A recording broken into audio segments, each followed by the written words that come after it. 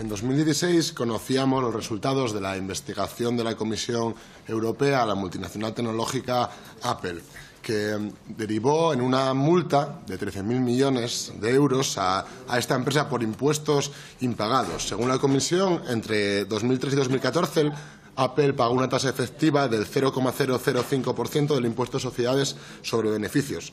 El sistema de ingeniería fiscal que, utilizaba esta compañía tecnológica consistía, consistía en registrar todas sus ventas en Irlanda en lugar de hacerlo en los países donde se producían, lo que permitía pagar un impuesto de sociedades menor y más cuando esta empresa había llegado a un acuerdo con Irlanda, eh, por el cual acababa pagando una tasa efectiva, como decía, del 0,005%. Es decir, acabó pagando 10 millones por 17.000 millones de euros de beneficio, un auténtico chollo. Esto ya lo comentamos aquí en esta comisión el año pasado, pero ha habido novedades al respecto. A finales del año pasado conocíamos que Irlanda no había tomado ninguna medida al respecto para cobrar esta esta multa que le ponía la Comisión Europea a Apple y que la Comisión Europea estaba denunciando a Irlanda al Tribunal de Justicia de la Unión. Ahora sabemos que Apple se ha acogido a la amnistía fiscal de Trump para pagar estos 38.000 millones en Estados Unidos.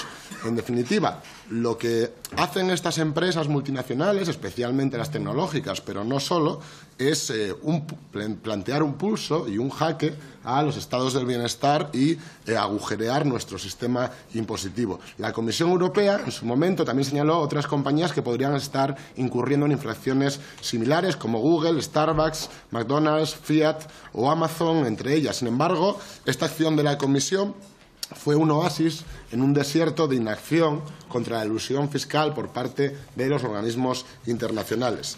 Esta semana, Financial Times, que no es el manifiesto comunista precisamente, publicaba un informe en el que señalaba que las multinacionales están pagando un 9% menos de impuestos que antes de la crisis, lo reflejaba en este gráfico, y un 30% menos que en el año 2000.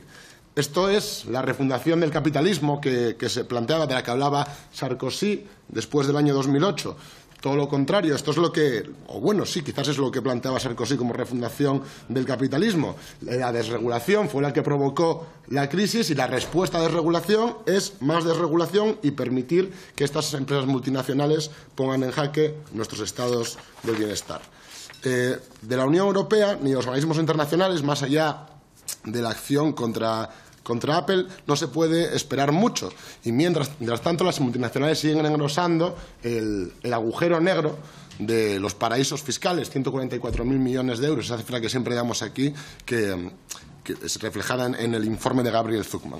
Aún estamos a la espera de que la Comisión Europea proponga este gravamen igualador que, que anunció que ha dejado para, para, la reunión de septiembre en Tallinn, pero parece que podemos esperar sentados a que se tomen medidas eficaces contra la elusión fiscal de las grandes empresas. Eh, en 2016, la Comisión Europea puso a disposición de, las administraciones tributarias de los Estados miembros eh, la documentación relativa a los beneficios generados por Apple y los impuestos que no estaba pagando y no tenemos información de que el Gobierno español haya hecho nada al respecto.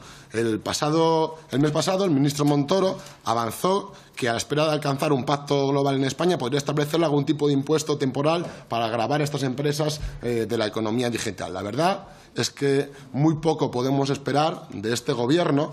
Parece que estas eh, propuestas, estos anuncios son puro humo y es que no se puede esperar absolutamente nada de un gobierno que hace amnistías fiscales para sus amigos y que permite que las grandes empresas paguen un impuesto de sociedades efectivo que es la mitad del que se paga de media en la Unión Europea.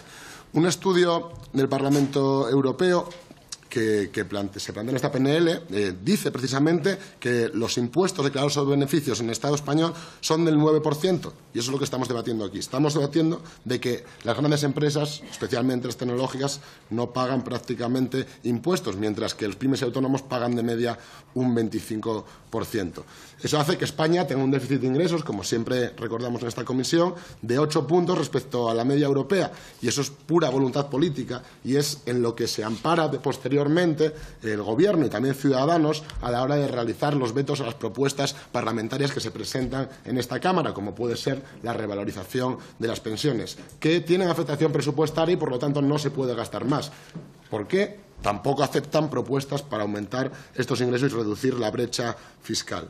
Por eso creemos que, hay que ir más allá que hay que combatir el fraude y la ilusión, pero también hay que reformar el impuesto de sociedades en este país para que las grandes empresas paguen eh, lo que tienen que pagar y dejen de agujerear eh, o, profundizar en el agujero gruyer de nuestro sistema, del queso gruyer que es nuestro sistema fiscal. Eh, por eso les hemos presentado unas enmiendas a, esta proposición no de ley del Grupo Ciudadanos. Algunas de ellas tienen un carácter técnico, aquellas las técnicas a las que nos referimos son aquellas que, buscan eliminar referencias que nos parecen eh, vagas o que no tienen ningún sentido, como aquellas que hacen referencia al pacto entre el Gobierno, entre el Partido Popular y Ciudadanos para conformar Gobierno. Ese pacto es una, quimera y creemos que no tiene ningún sentido que se refleje en una proposición no de ley.